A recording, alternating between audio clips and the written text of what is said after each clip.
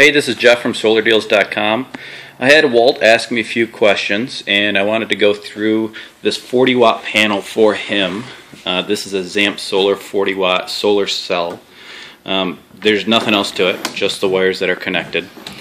What I like about Zamp is that they use a Class A plus monocrystalline solar cell. Uh, that means it's prime and it's flawless. Uh, there's no scrapes, cracks, or anything like that. Solar cells can go Class A, Class B, Class C. Class C is cracked and you actually lose power output from them. Uh, the other thing I like is this frame.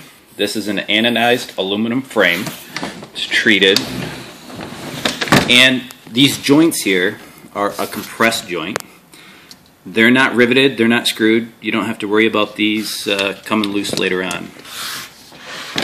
The other thing I like is that this panel is actually secured to the frame, uh, the backing and the glass, and it's it's secured enough to where no particulates are going to get inside.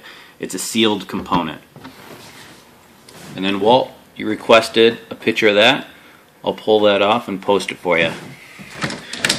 That's why I like the Zamp solar cells. If you have any questions, let me know.